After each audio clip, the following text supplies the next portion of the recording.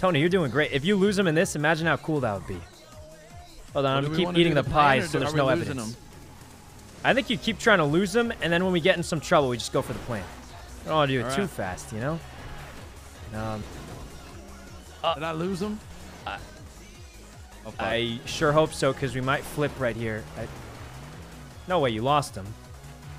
I I lost him. no way you just lost them. There's like an interceptor or two in a... I think I'm We'll just, just- too good.